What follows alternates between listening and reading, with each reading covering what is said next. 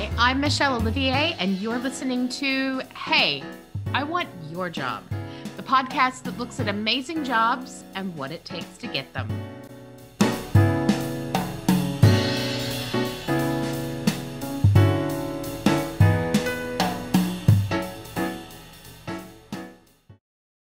Welcome to Hey, I Want Your Job. And this week, I have somebody who has an amazing job. And she is cooler and more creative and makes way more beautiful things than I ever did have or could do. And I think her job is amazing. Tasha, what is your job? what is your job title? I am a goldsmith. Um, I usually call myself a goldsmith, and I'm also a jewelry designer as well. And so when you say goldsmith, I think that people like at some extent people have like this image of you with a pickaxe and a mine, right?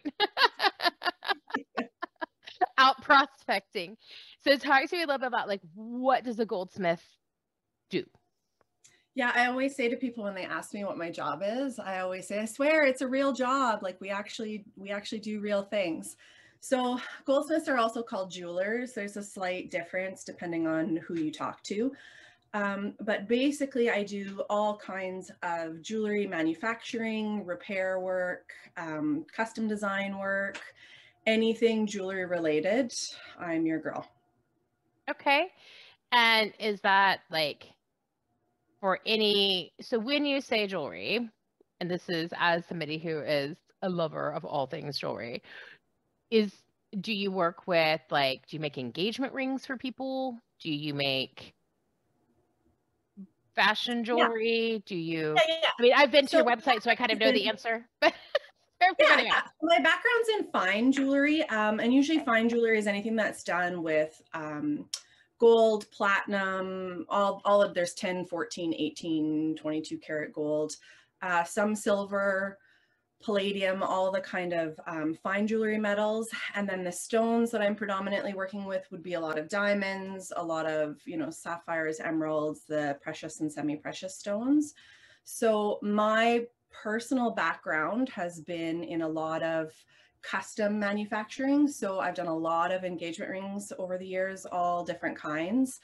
Um, there's the what I call the meat and potatoes of goldsmithing, which is a lot of your repair work. People are always needing ring size soldered together. You need diamonds set or new claws put on. Um, I work now for myself, but before I started working for myself, I worked for a really busy studio here in the city, and we did uh, repair work and custom design work for a lot of the.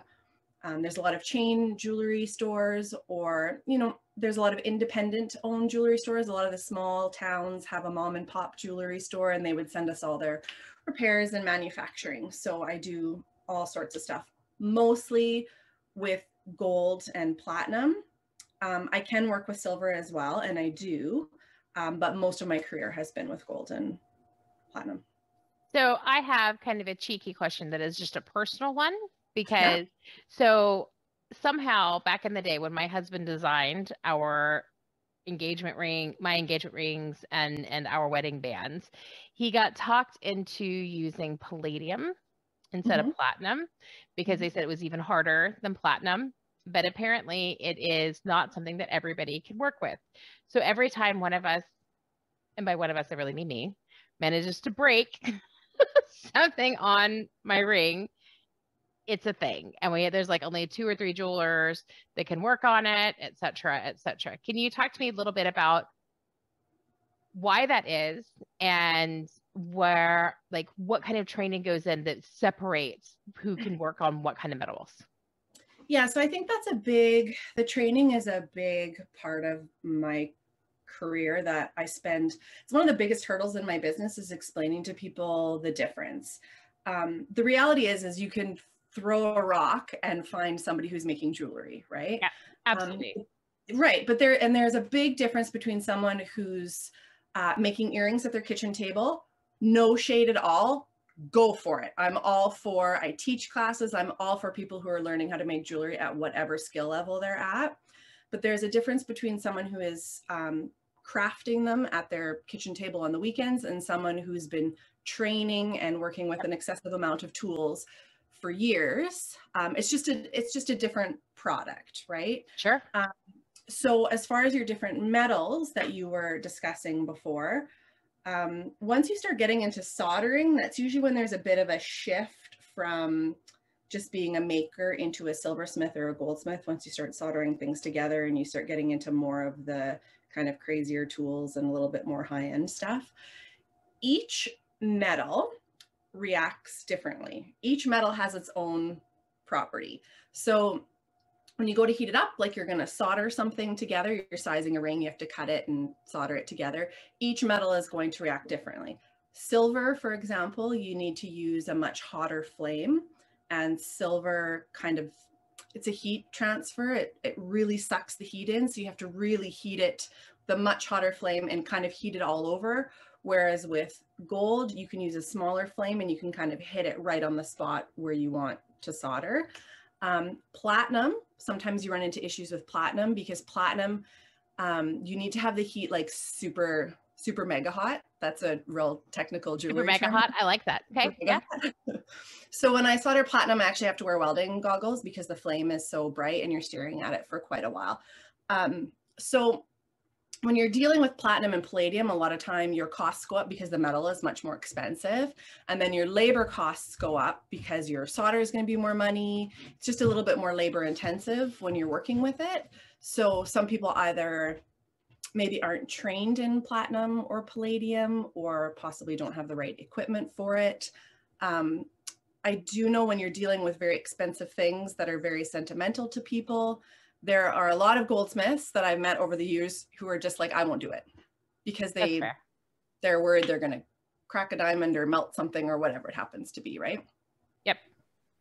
I that that makes total sense. And I, I love that explanation as well about like how there's tiers because I do think that I would feel frustrated in your camp that there's so many people who refer to themselves right now as jewelers. And some of them are doing uh, they are much more what i would consider to be crafters or mm-hmm. even artists. But so like people who make found object jewelry for example some of that is very artistic for sure. But they're not a jeweler to my mind at least. And i would love to hear your thoughts obviously because they're not they're not able to you know work with the metals at like a goldsmith or silversmith level they're not able necessarily to like work with stones like you know like you would. So what where to you is that line between somebody who is just making jewelry that you can wear and yes has artistic merit and you know you should pay them for it etc and where is somebody that is like a true jeweler? Yeah well i think everyone deserves to be paid for what they do. I think I that's think, a good call yes. Absolutely and if you are making $20 earrings at your kitchen table, good on you, but you need to raise your prices too. Um, so I think where, where I run into, sometimes where I run into struggles is let's say I don't do a lot of craft shows or trade shows, but let's say I was at a trade show. Here's kind of the reason why I don't. Um, is if you have, usually there's a lot of jewelry at those shows. And if you have 10 tables of people who are assembling jewelry, so they're buying pieces off the internet and assembling them together, um, they can charge $20 for a pair of earrings or $30 for a pair of earrings. Whereas when you get into someone who's using um, gold or sterling silver and you're having to solder things, you're having to hand finish or hand craft things, you can't you can't charge $20 for it and like you're not even covering your costs. And right. I think sometimes the consumer struggles with that or doesn't really understand that, which is part of our job is to educate that. Great. There's a big movement in fashion jewelry, which is wonderful. Um, but I find a lot of times, particularly with the like the millennials or the younger generation, they don't really know the difference between gold plated um, or gold colored jewelry and real gold jewelry. And there's a huge there's a huge difference, right? If there's a if there's a chain and it's $50 and they're saying it's gold, chances are very slim it's like it's it's not gold, right? And there's a not that there's anything wrong with that, but as a consumer, you need to be educated on what you're purchasing and where your money is going, what you're getting basically.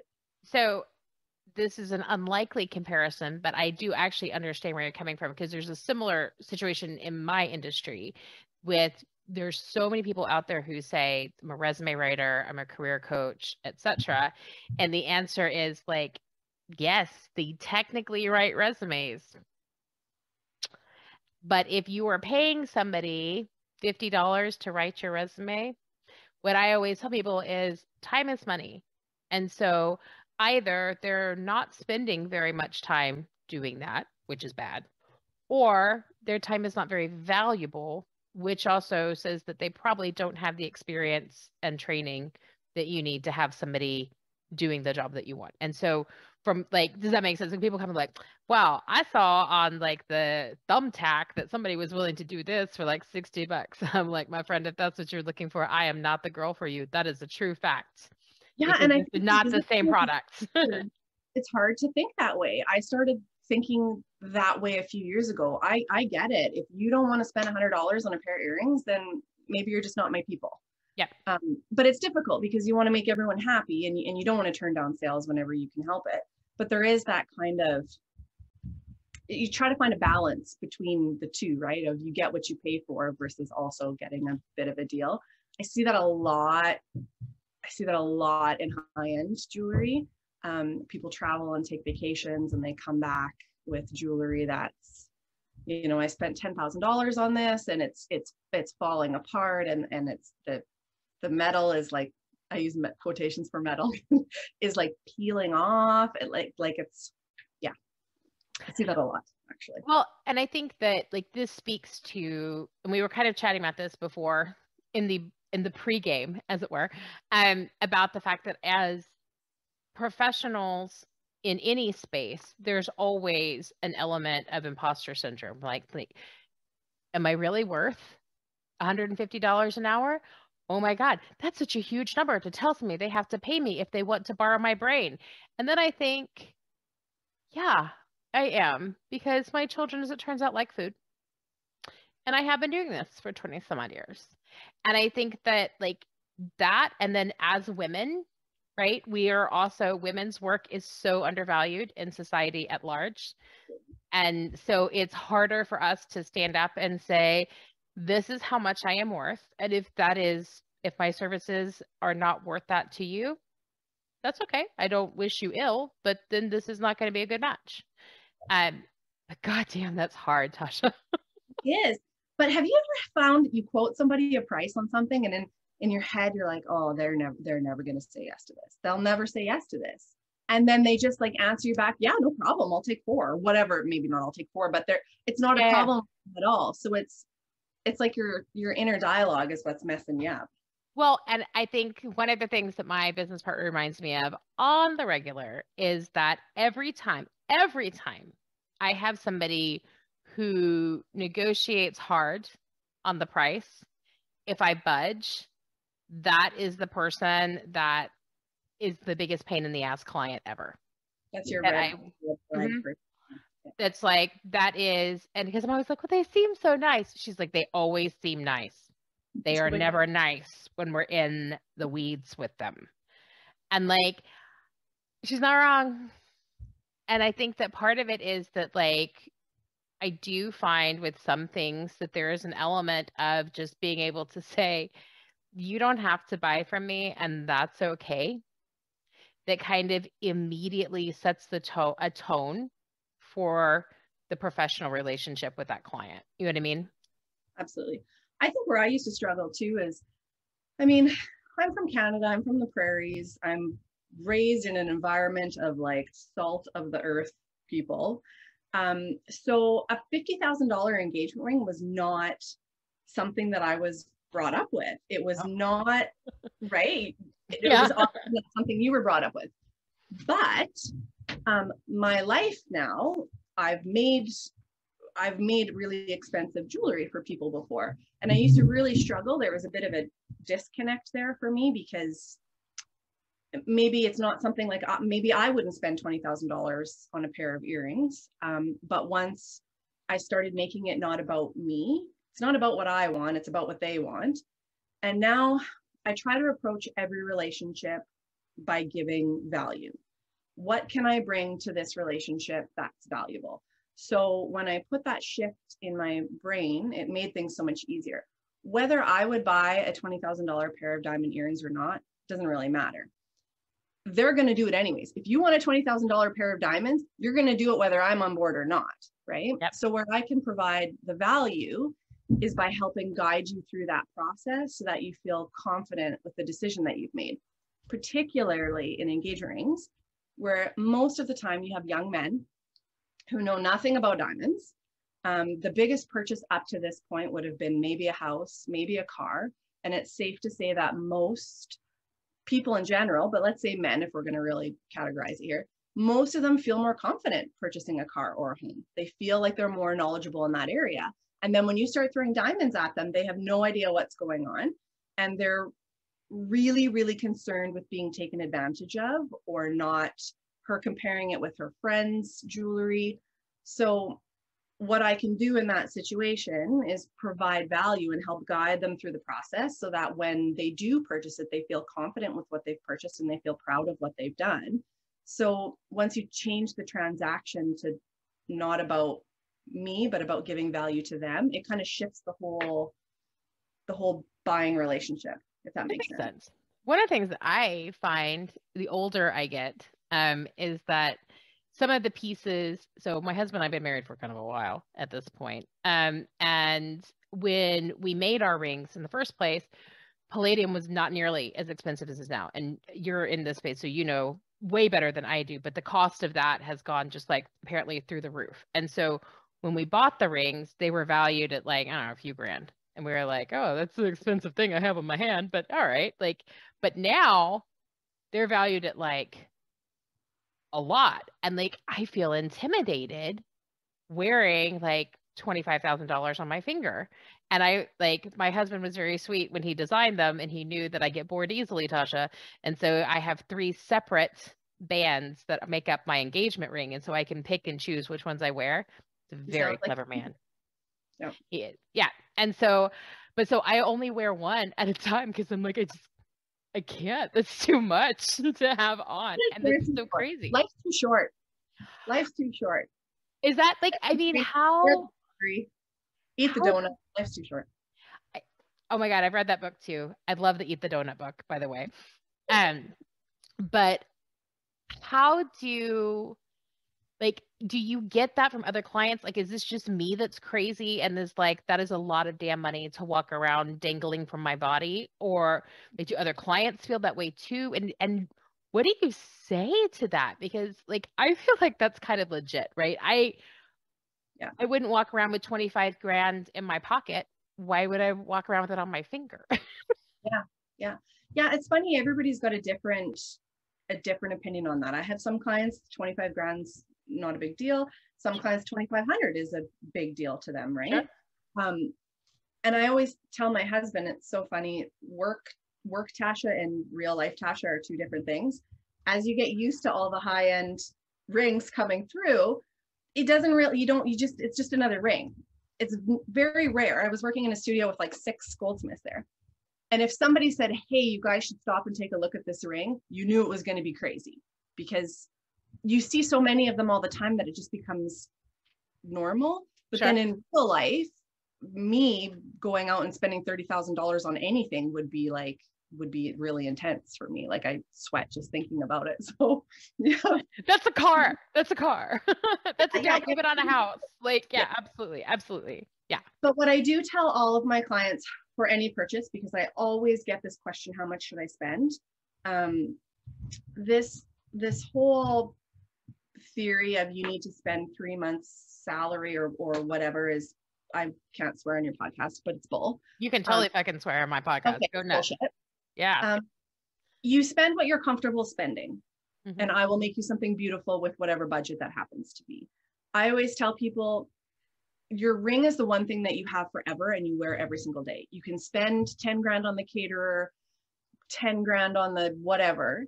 Um, but once that day is over, the ring is what she sees every day. So I, I personally, maybe I'm a little biased because it's what I'm into, but um, I always feel like if you're going to put money on something, that's the one that's going to last the longest and you're going to see it every day. You wear it every day, all day. But I don't think for anyone to to put yourself in huge huge debt just to buy a big fancy engagement ring. It seems kind of crazy. And I think that there's a lot of pressure to do that, to have this big, massive ring. I'm also a firm believer in when it comes to your budget, make the diamond smaller, but better clarity. Girls have it in their head that they need a carat, I need a carat, I need a carat. So now you see all these girls walking around with these huge diamonds that are terrible clarity. I call them mashed potato diamonds because they look like they're really cloudy, right? So I tell all of my customers tone whatever your budget is, tone down the size and bump up the clarity because it's going to sparkle more and it's going to look bigger and get noticed more um, than something that's really big and looks like an ice cube. So here's my question on diamonds. I have firm opinions mm-hmm. on them. They are very political. You will notice that the maybe you can't see, but the stone is definitely not a diamond mm-hmm. in my There's engagement ring. Yeah. Which I think says a lot about where my politics fall on this. As a jeweler, as somebody who works in this area, what do you have concerns, moral reservations about the diamond trade? If so, what are those? And then, you know, how do you balance that with the fact that that's what people still want to buy? Absolutely. Absolutely, I do. Um, and I think when it comes to diamonds, most people know just enough to be dangerous, I say. Like they know they just skim the surface. Um, so here's the reality with diamonds. You can get diamonds almost all over the place, um, but the main countries that are producing diamonds obviously have conflict and have some issues. I mean, you can buy you can buy diamonds in Canada right now as well too, right? Yep. Um, I have some certified Canadian diamonds. There you go. A few diamonds that I own. Yep. There you go. So um, the reality is that in these countries that have conflict, there are still a lot of people who need jobs and who need work. And if you're in a community where your main resource is diamonds, there's not a lot of options for other places to work. So there are a bunch of really great, um, I'm not sure what the word is, I'll say programs, but I don't think it's program. Um, people who are in the diamond industry right now are like, oh my God, Tasha, get it together. Um, so basically what this company does is they go in and they bring in an initiative they take over the diamond mines and they ensure that all the diamonds are being mined ethically so that these people still have jobs and are being paid a fair wage um, for the country that they're in being paid a fair wage and you don't have to worry about the, the blood diamonds and those types of things. So i get diamonds from um, i have a few different wholesalers that i get my diamonds from. I have the option to get canadian i have the option to get from other countries but all of the diamonds that I get from other countries, uh, most of them are part of the Kimberley Diamond Project, which ensures that they're mined ethically. So you can still get a diamond and still feel good about it. The other so, thing too, oh yeah, no, go ahead. No, no, no. I was no. Go ahead, because what? So blood diamonds are definitely an issue, but I knew about some of those. My actually bigger issue with diamonds is the whole like cornering the market diamond cartel with the whole De Beers situation and ethical and moral issues with De Beers as a company and the fact that the, the price is hyperinflated because of how much of the market they own. So those are I don't know yeah. if that puts me in the just enough to be dangerous camp or if that eh, or no, no, it's true. De Beers is like if if you're if you're a business owner and you want to look at a great example of how to like take over your industry they've nailed it. They're the ones who said you have to buy an engagement ring in the first place. It, engagement rings didn't really come along until they were like, you need to buy an engagement ring and it needs to have a diamond in it, and here's where you get it from, and we're the only ones who can give it to you, right? So they've been really, really smart when it comes to that. They also um, they also only release a certain amount every year so that they can keep the prices high. Um, which you see in many industries, mm-hmm. not just in diamonds. So petroleum. I, like I don't like OPEC either, you know? yeah, a lot of industries are doing that, right? You feel a little bit icky about it, but there's so many industries that are doing that and they're just controlling controlling the flow so that they can keep the prices a little bit higher, right? Mm-hmm. Again, what, what what do you do about it? There's, don't buy diamonds. About it the other used to do that too. Um, the other option that's come out now in the last couple years, and I'm not an expert in this because it's fairly new, um, is the lab grown diamonds. Um, they're kind of the new craze that's sweeping the nation. So I've worked a little bit with them. Um, yeah, so that's an option too, is to go with the lab grown diamonds. So what is the difference between a lab grown diamond and a cubic zirconia? Okay, so here's how I explain it to, to all my customers. Okay. To be considered a diamond, I should preface this by saying I am not a jewelry appraiser. That is a whole different schooling. Fair. I'm duly noted. All of yes, all of the like I, you know. Yes, I yeah. do have to be knowledgeable in it in order to sell the diamonds. Sure. Um, but I don't actually do any of the appraisals and stuff, uh, which I do for a specific reason. But um, I have phoned some of my friends who are appraisers when the lab grown diamonds came out and kind of asked a bunch of questions to see what, you know, how do you properly explain this to, to your customers. So in order to be considered a diamond, you have to have certain characteristics. I can't remember what the number is, like 15 characteristics or something. Lab grown diamonds hit, I think, like 14 of the 15 or something. Again, if you're in the lab grown diamond industry, they might be shaking their heads right now at the numbers that I'm throwing out. But what happens is, is science has gotten so good that they can basically scientifically create a diamond that fits the characteristics of a diamond. A cubic doesn't fit any of those characteristics. Okay. So the easiest way for me to explain it to my customers is I say, of course, it's really cold where I live. So I say, if you take two ice cube trays and you fill them with water, and in one tray you put in your freezer overnight, and one tray you put outside in December overnight, in the morning, you have two trays of ice no tray of ice is more ice than the other. They're both ice. The only difference is that in one situation, I manipulated the environment to create that ice. And in the other situation, that ice was formed naturally by the environment. So the difference is, is they're, they're going to react like a diamond and they're classified as a diamond, but their pricing is going to be different because they're not formed naturally. So I have had several of my engagement customers come to me with the lab grown, can we get a lab grown? And absolutely, I will do it for them. But I always want to explain what they're kind of getting themselves into. They're very new. So what I don't know is, as you know, when we just discussed the politics of um, yeah.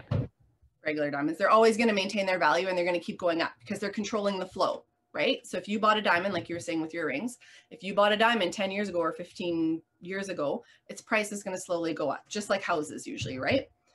The lab grown, I don't know what's going to happen because there's no control over the flow of them.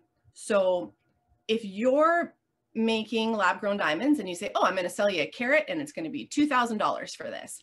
And then I'm down the street and I say, oh, well, she's selling hers for two grand. I'm going to sell mine for 1500 and then somebody down the street from me says oh well she's doing 1500 i'm going to sell mine for a thousand. It very quickly becomes a race to the bottom. So if you're okay with spending the money and getting the deal on it i just don't know if they're going to hold their value over a long period of time like a regular diamond would. Does that make sense? It makes they, perfect sense. they may drop fluctuate.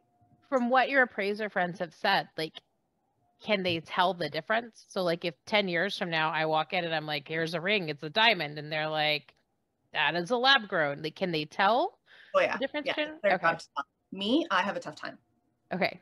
Tough time telling the difference. I would have um, zero ability. So I mean, I can't visually, I can't tell the difference between white topaz CZ and a, a diamond, like for real. Oh, I can so, show you that in 10 minutes or less. Sorry, white yeah. sapphire. Yeah. Like like I just I'm like, I don't they all look white and sparkly. Yeah. Cool. so yeah. um so we talked a lot about diamonds. What are for people who want to do ethical jewelry purchasing what are the other things that don't get the press they should that are things to avoid or things that are really good choices um, in the jewelry market? Oh that's a good one. Um, i think paying attention to where things are coming from is always important like you had said where your diamonds and things are coming from. Um, where the metal is coming from for example, um, everything that I use is technically recycled. There's a big refinery here that I send everything to. Um, so I save everything. I have a special vacuum for the shop. I'm coming here from the dusty shop right now. I say I have a special vacuum, all of my broken saw blades, my old files, everything gets saved, my old polishing vests. um, everything, dust, you name it, it gets saved. And that gets sent into the refinery. And then they refine that down and they extract all the metal and refine it and then resell it again. So technically, when I'm ordering fresh metal from them, it's all recycled metal that has been recycled down over years. Um, so that's really kind of cool that you can keep recycling. What I also think is kind of cool is lots of gold gets recycled over multiple years, multiple times. So there's a very good chance that a piece of gold that you're wearing now could have been worn, a small fraction of it could have been worn 300 years ago by somebody else. And it's just been diluted and refined and remixed so much over the years. Um, the one thing that I really think people need to pay attention to and aren't is costume jewelry and where it's coming from, particularly in children's jewelry. Okay. Um, children's jewelry is a big race to the bottom to be as cheap as possible because it's you know a six year old or seven year old you don't want to spend a lot of money the problem right. with that is is a lot of it's being mass produced overseas and it's coming here and it's not being tested properly there was a bunch of studies done all across north america and um, universities where they were testing the ingredients particularly in children's ju- jewelry and it was full of all sorts of nasty um, cadmium and lead and um, and I don't think a lot of people really consider that or even ask why is that important. Um, and I always they tell put people it in their mouth. They put everything in their mouth. And your skin is your largest organ, right? So anything touching your skin, you know, you put lotion on, that's all getting soaked into your body, right? So if you're having earrings inside your earlobes and you've got a ring touching your skin all day every day, like it's it's gonna get absorbed in there, right? So um, and I think you see that a lot with costume jewelry as well too, or the fashion jewelry where it's plated and it's got in our shop we call it a mystery metal underneath where we're not really sure what it is or what to do with it. Um, and then they just coat it over top with something that looks pretty and shiny. Um, but what it's actually made out of is really not good for you. And I think that's something that people should be paying a little bit more attention to. So I think that is an amazing thing. And it kind of brings me on to one of the next things I want to talk about is I think um, one of the things that we as a society are moving towards is or, or in the midst of i guess is this very like disposable culture right we buy mm-hmm. cheap clothes at Old Navy and then they get holes in them the second time we wear them and then we throw them away and buy new cheap clothes. And that's true kind of across the board, right? So my business partner is a ceramicist. She makes beautiful things out of ceramics and her shit lasts forever because it is handmade crafted like for real. But people come in and they're like i could get a coffee cup for the two dollars at walmart. Why would i pay 30 for yours? And she's like i don't have a nice way to answer that. Like just jog on jog on. Yeah. Um the same is true very much in your industry. We have like Amazon is awash with cheap jewelry options that are totally disposable, that break after two seconds, that, you know, are claimed to be sterling silver, but then like they cost $5 and those two things do not go together. So, what is your take on disposable jewelry culture and um, why we're there? And if you were going to make recommendations to people on where to where it would be if ever okay to use that disposable stuff versus investment in real pieces what would your thought on that be? Yeah i think i mean everything's got its place right? I love a good five dollar sweater deal too when when the when the time comes. Everybody does. Um, i think there's just a difference between you know, when you're looking at something that's handcrafted like your ceramics, it seems expensive at first, but if it's going to last you 50 years or 60 years, you're saving money, right? It's like I've got a friend who um, sells like luxury makeup products and skin creams, and a skin cream seems so expensive, but when it lasts you twice as long as the cheap stuff, it's like you go through the cheap stuff five times faster than the the one more expensive one. It's actually cheaper to go that route, right? And when you're dealing with um, the more expensive kind of high end jewelry, the reality is is that piece can last for generations. Like i've had rings now that have made it to the second generation. I made a ring for the grandma she passed left it to her daughter. When the daughter passes she's going to leave it to her daughter right? So you have to put a bit of a value on that. You also have to put a bit of a lot of value on the time and the craftsmanship that's going into it. Um, there is a big difference between something that's handcrafted and finished by hand or a sweater that's sewn by one person versus a bunch of machines in a factory somewhere that's pumping out 800 of them a day, right? And again, with your ceramics friend, people either get it or they don't. And that's half the that's half the battle for me too, because you see that a lot in in jewelry too, right? Is that it's, you know, I well, I bought it for 300 bucks. Can you match that price? Well, I can't. So if that's what you want, then I'm maybe not the right person for you. There has to be that that line, that happy medium, right? So on that note, I want to kind of talk specifically about your jewelry because we've been talking a lot about fine jewelry and the $20,000 diamond earrings, but Rhythm Jewelry does not focus on the website on $20,000 diamond earrings. It has a very different feel and market. So, in particular, your jewelry, a lot of it is around like the music and dance and and movement industry. How how did that happen? Who knew that's where my life was going to go because I did not know that that that, that was going to happen. so yeah, so I guess my business now has kind of branched into two areas. I still do all of my custom. Um, I don't really advertise it. I have a lot of word of mouth clients who recommend me to other clients or whatever. So um, this in the studio here, one day I'm doing an engagement ring, the next day I'm doing ballerina pendants. It just kind of happens, whatever's on the list of things to do, kind of all over the place. Um, so a few years ago, uh, I started Rhythm, which is jewelry inspired for dancers which sounds really random because I'm not a dancer. Um, but what wound up happening is I have some friends who are professional dancers. Um, I have one friend in particular who's taught ballet for a very long time. And every Christmas she would call and say, Hey, Tasha, can I, you know, do you have any earrings in your safe? I need some for my assistants or some of the teachers at the studio. You know, you really should consider doing a line of jewelry for dancers because we don't have anything. And I'm like, Yeah, yeah, okay, I'll send you some stuff. But then after like the third or fourth year of the harassment, um, she started getting really aggressive about it.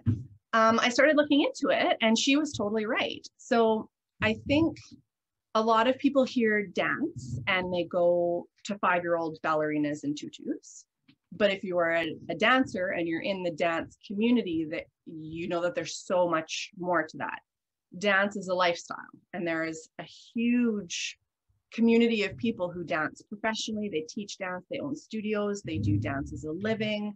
Um, and there's really nothing out there for them. It's all kind of costume children's jewelry. So I set out to design a collection of jewelry that's inspired for dance, that's affordable, but is also kind of a little bit more luxurious and a keepsake feeling that kind of represents the actual dedication and training it takes for them to do what they do.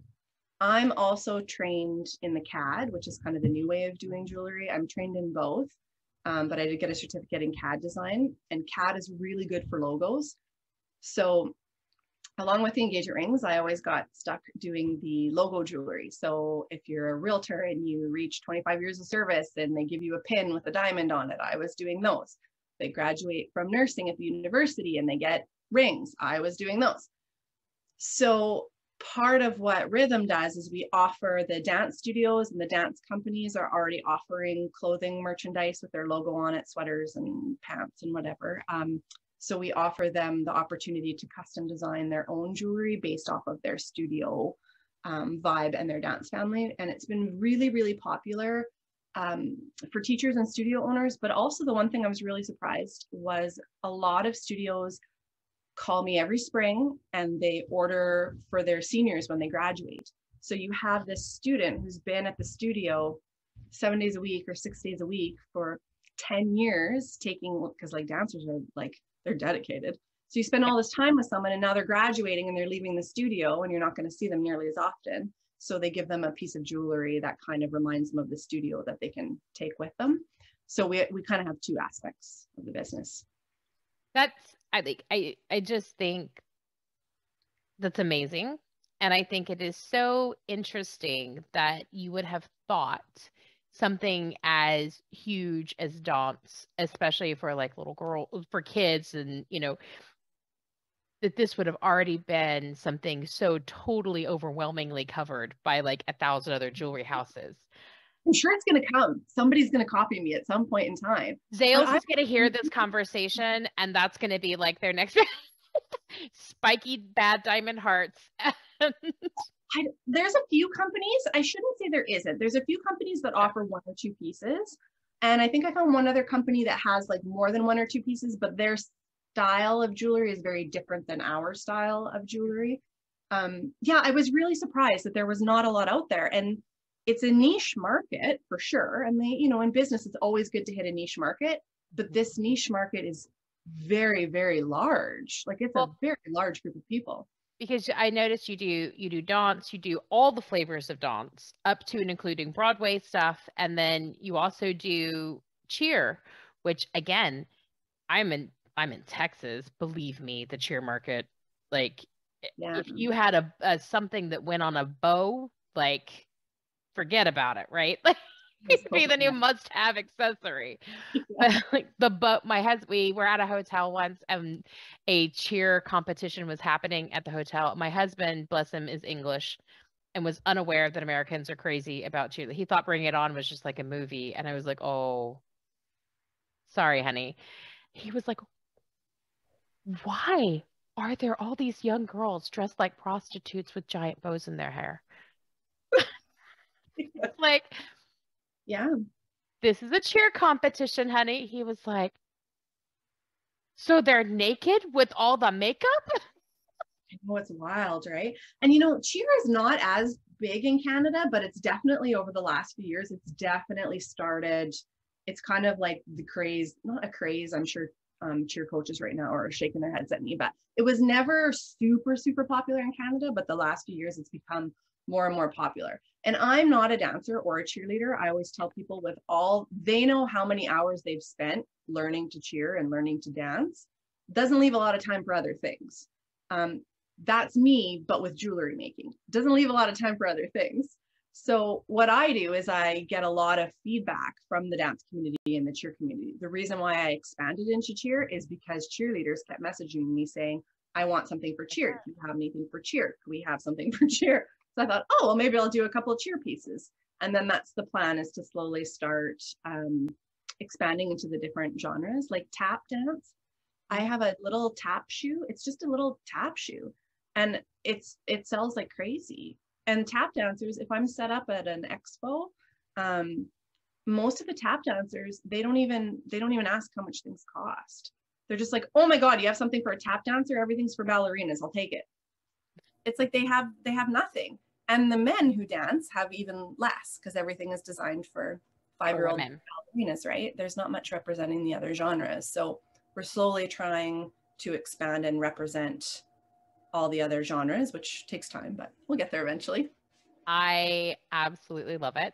I cannot wait um, for when you um, bring out your Bollywood line because, like, I feel like that again, like that is an ongoing trend. It's amazing. It's one of my favorite dance trends at the moment. And again, there's no Western anything that like reflects that trend at all. So that's going to be, I, I love your jewelry. I think it's super cool. I'm not a dancer, so I like the other pieces. The pearls are definitely a big fan of that. We have a lot of pieces that aren't dance specific. They're, they're marketed towards dancers and they're designed off of dance, but we do have a lot of pieces that are, you don't have to be a dancer to wear them. I just launched a collection in November with NappyTabs.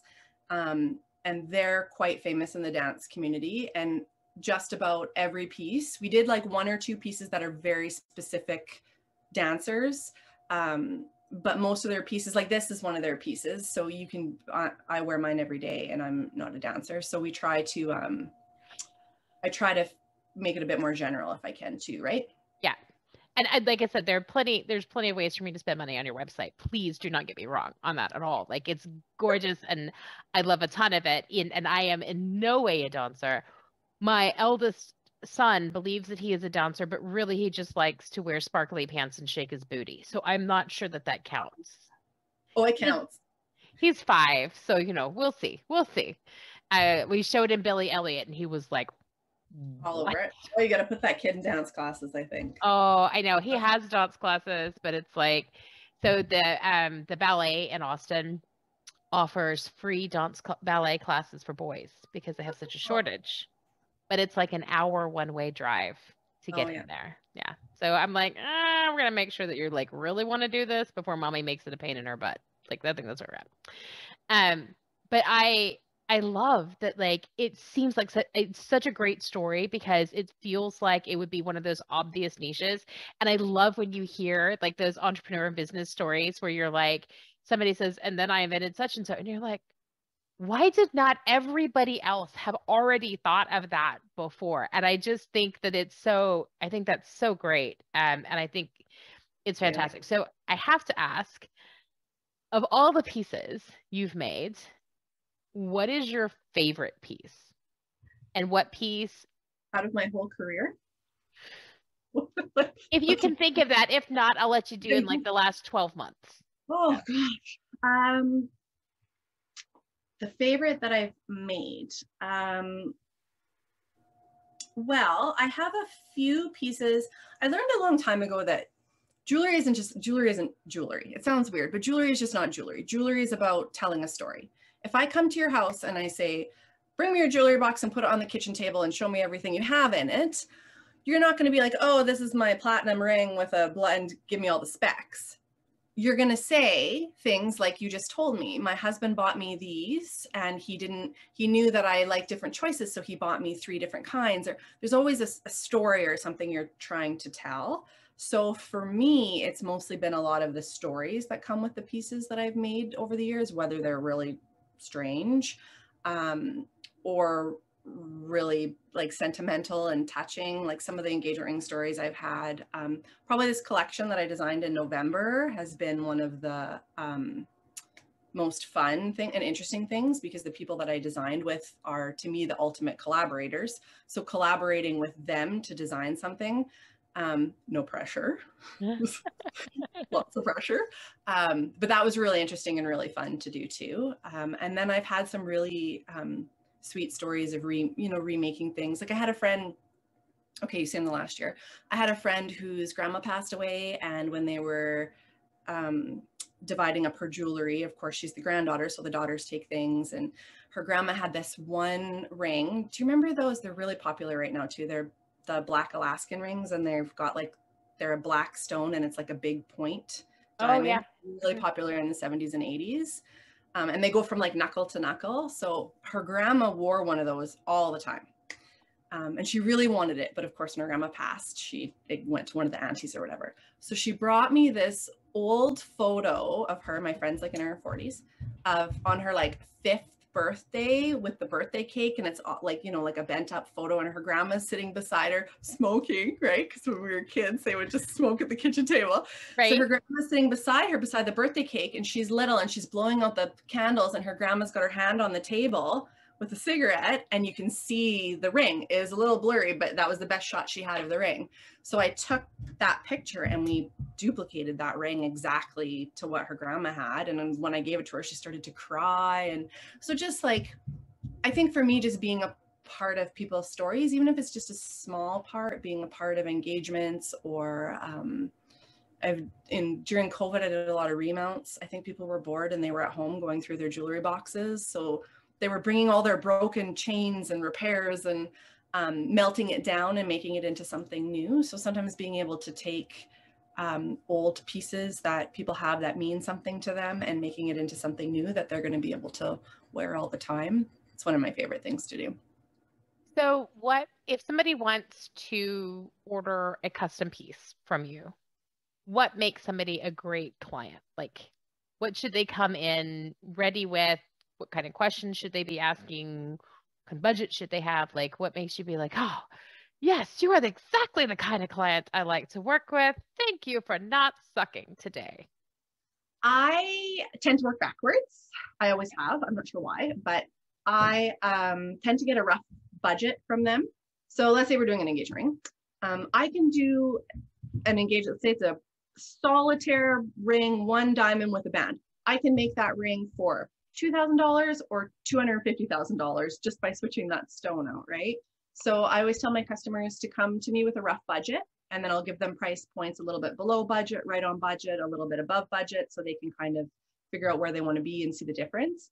Um, and then pictures, even if it's not exactly what you want, but something that at least narrows it down. Otherwise, it's like walking into a car dealership saying, I'd like to buy a car. Well, do you want a four door? Do you want something sporty? Do you want a minivan? Like at least narrow it down a little bit. Um, and the main thing I find, especially with engagement rings and brides, is I find sometimes they tend to over detail everything. They pay attention to the tiniest little thing that doesn't really matter in the grand scheme of things. Like it's you're talking like a quarter of a millimeter, or they they really overanalyze and they almost they almost kind of suck the fun out of the process for them by overanalyzing every tiny little detail. Um, don't get me wrong, engagement rings you have to be perfectly exact on them, but sometimes I find brides get too stressed out about the little details. I I get that because ultimately, like, there's only so much anybody's gonna see, right? Like day ending and why. And so, like, I have seen my when my sister did her engagement ring, she and I are very different in our preferences. She was one of those like she wanted like the curly Q heart thing under the diamond setting, and then she also wanted the da da da. And I was like, stop! Like, I'm gonna wear this damn thing for the rest of your life. You know what? Nobody is ever gonna freaking notice all of that shit. Like, they're gonna notice that there is a solitaire diamond of a certain size and poor quality on your finger and that's going to be the extent. And like i'm razzing my sister but like she doesn't have a huge budget and so like you know they did the best they could. But it is definitely like i hear what you're saying like she was definitely like and then what if it had like little bitty hearts all around it? I was like ew stop stop. Yeah i find lots of times brides not all the time but they get so caught up in the little details and they get very stressed out about the spacing and the and it's like I'm also, I've done this a lot longer than you have. So at some point in time, trust me a little bit. I'm not, I would never sell you something ugly ever. Um, so trust me a little bit on the structure and how things are going to look. I find sometimes they get a little over involved in some of the little details or too stressed out about it maybe. Um, and I do find a lot of times they want to just keep adding more staff and sometimes sometimes less more. more yeah. or little details here that people aren't going to notice or yeah. Yeah. I love it. I cannot believe that we're almost out of time um, because this has been amazing. So what have i not asked you that i should have asked you? Um i think you covered everything. You're a great interviewer. I think you covered everything Thank you.